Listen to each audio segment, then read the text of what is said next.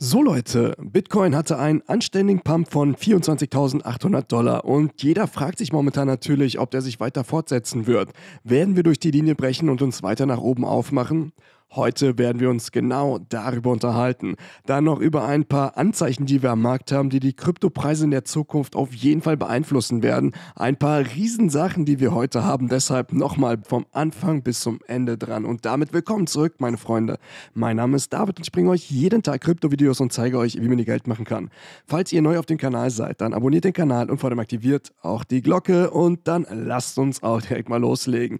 Wir hatten einen richtig anständigen Pump für Bitcoin tatsächlich, nachdem wir es hier geschafft haben, durch die rote Linie nach unten durchzubrechen, sind wir zu der orangen Linie gekommen und von diesem Punkt an haben wir einfach einen massiven Pump gehabt.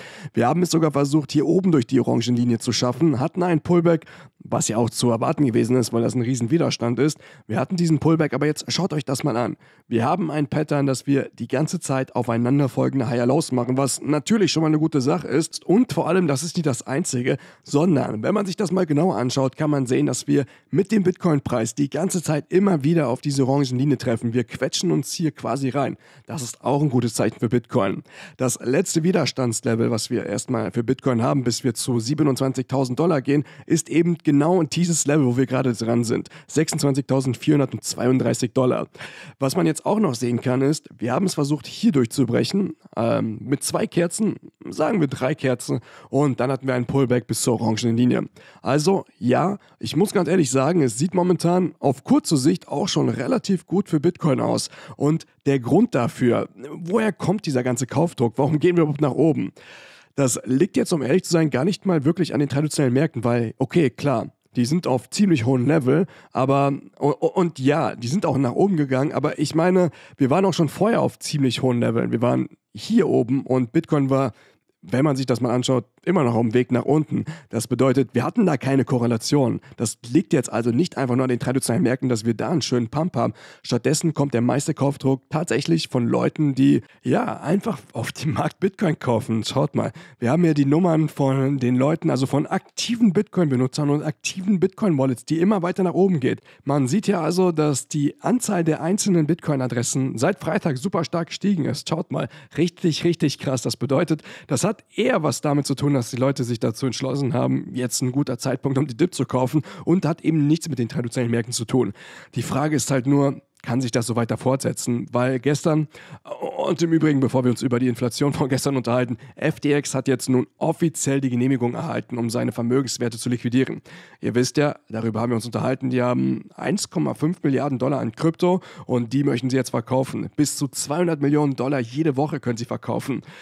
Ja, das ist auf jeden Fall schon mal eine keine tolle Sache, muss ich sagen. Es gibt also etwas, weshalb wir auf jeden Fall vorsichtig sein müssen. Und das ist auch genau der Grund, warum so viele Menschen immer noch skeptisch gegenüber Krypto sind. Am Kryptomarkt sind die Leute skeptisch, weil wir die beiden Situationen haben. Wir haben die FTX-Situation, die Gemini-Situation, äh, Genesis, also ja, einfach so viel. Und wenn man sich einfach mal anschaut, was gestern passiert ist, dann kann man sehen, die Inflation ist ein kleines bisschen höher ausgefallen als das, was erwartet gewesen ist. Und das war auch genau der Grund, warum wir diesen Pullback gehabt haben. Wir hatten also diesen Pullback ähm, genau an dieser Stelle, als die Inflationszahlen eingetroffen sind. Und danach kam es direkt zu diesem heftigen Pump, weil die Menschen mehr oder weniger darauf vorbereitet gewesen sind, dass die Inflation etwas höher ausfallen könnte. Warum ist die Inflation denn überhaupt höher ausgefallen? Ich werde euch das gleich auch zeigen. Aber bevor wir uns darüber unterhalten, möchte ich euch noch etwas anderes zeigen. Und zwar mit diesem Pump, den wir gehabt haben, und zwar diesen Pump für äh, bis zu 26.500 Dollar, ist das Schöne, dass die meisten meiner Bots jetzt mittlerweile Gewinne mitgenommen haben. Tatsächlich, ähm, ja, doch, Fünf von sechs haben Profite mitgenommen. Einen einzigen haben wir noch für Ethereum, der keine Profite mitgenommen hat. Und schaut mal, wie knapp das gewesen ist.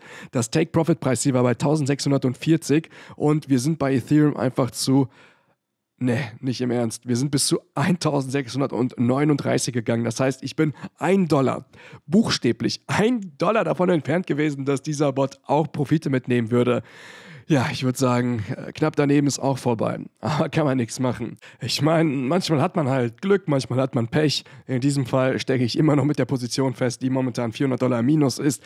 Aber auch das ist nicht das Ende der Welt, weil wir ja insgesamt immer noch im Gewinn sind. Aber trotzdem, ich glaube, sonst hätten wir 1000 Dollar Gewinn gemacht, so genau wie die anderen Bots, die auch super schöne Gewinne gemacht haben. Der Bot ist auf jeden Fall ganz nah dran gewesen und ja, Abgesehen davon akkumulieren die Bots jetzt immer noch schöne Positionen. Bis jetzt läuft also alles genauso, wie wir es geplant haben.